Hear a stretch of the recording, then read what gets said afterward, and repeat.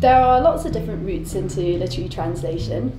I started out by attending the British Centre for Literary Translation summer school, um, where at the summer school I was awarded one of the very first um, British Centre for Literary Translation mentorship schemes um, uh, and was mentored by Nicky Harman, a very eminent translator from Chinese to English as a result of that mentorship scheme, I was um, given my first book to translate, and uh, it was on that project that Nicky and I worked together through the mentorship.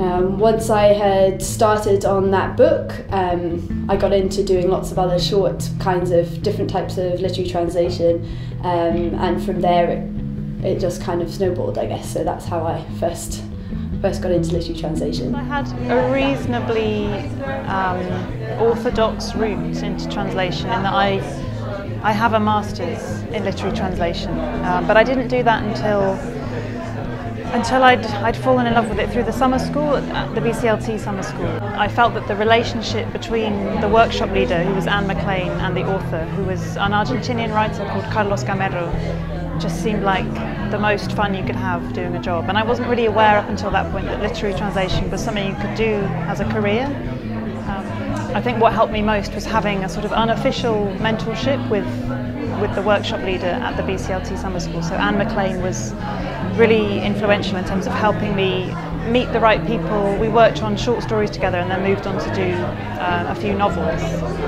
Um, but mainly she just introduced me to the right people and held the door open to that world for me. Um, so it was a combination of doing the masters and having that unofficial mentorship with Anne that, that got me started.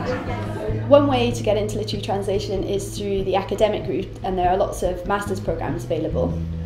I think an MA in literary translation is a fantastic way to start your career in translation if I can use our MA here at UEA as, as, an example, because it's the one that I know best, what we do is try to give people a, a good ba basic knowledge of translation um, and from an analytical and critical standpoint. So, for example, we, we talk about how you analyze literature. So, what does it mean to have idioms in a text, for example? And then we think about, well, how might you translate that? So, we analyze it both um, from a literary perspective, but then we go one step further and think about how we would deal with those things in translation. We also talk about how to deal with different genres. So, we might look at detective fiction, for example, which is very popular right now, or we might talk about how to translate poetry or plays or children's literature or novels and so forth.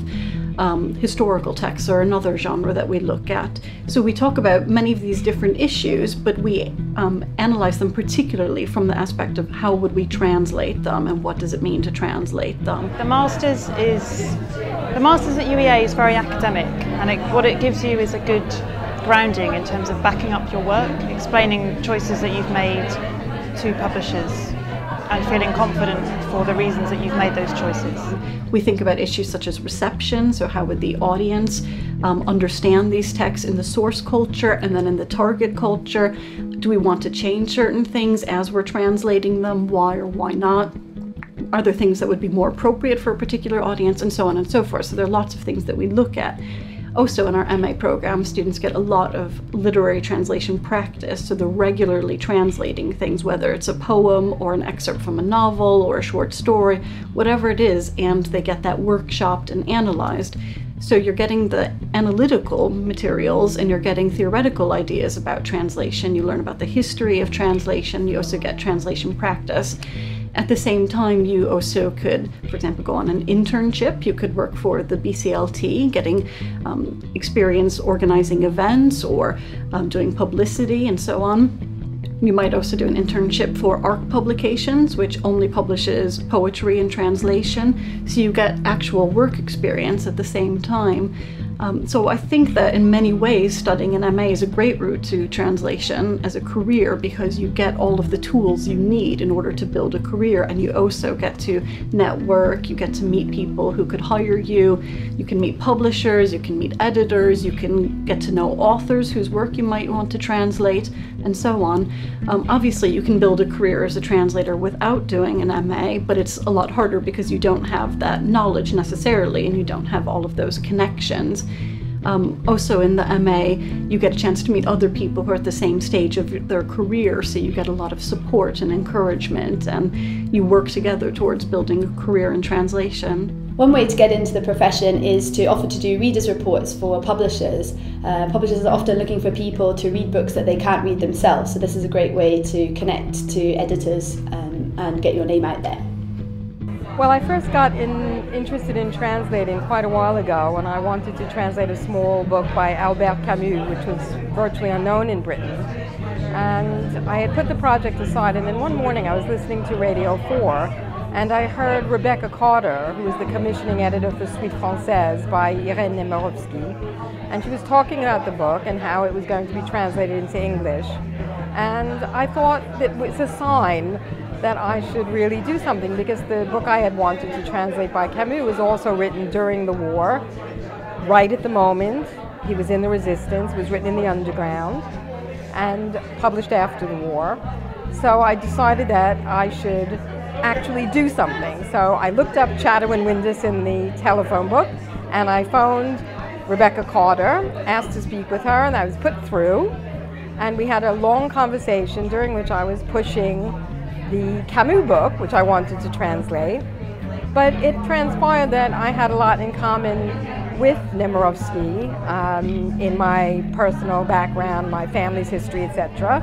And by the end of the conversation, she asked me if I would like to submit a sample translation for Suite Française. So, of course, I said yes immediately, thinking that if I did a good enough job on the sample, I would get the Camus, because I never really believed that I would get Suite Française. So I was tremendously fortunate in doing that, and I would recommend to any, any aspiring translators to do the unorthodox. Pick up the telephone, make your own luck. Uh, I, I, got into translation when I was uh, living in, in Dresden for a few years. I lived there uh, from when I was about 23 to 26 or so. And uh, I had a, I was on paternity leave. Uh, my son was about a year and a half old, and he would sleep in the afternoons, and that gave me an, uh, an hour and a half or so to to do something. And I had been given lots of poetry in German by a really great local bookseller, and I felt I wasn't quite getting it, so I started translating the poems into English, really for myself because I wanted to, to, to be able to get them properly in my own language. And and then I suppose you know once you've done a few, you want to you want to show them to other people, and ended up sending them to, to literary magazines, and they got accepted. And then you think, oh, okay, well maybe I'll, I'll carry on. So I think a mixture of living abroad and uh, and and the, encouragement of being accepted by small magazines really got me going. And then and then I, and I started gradually to see that people do translation as a freelance activity, and. Uh, and saw there was a way out from uh, the, the soul destroying office jobs that I was in when I got back to the UK to pay the rent.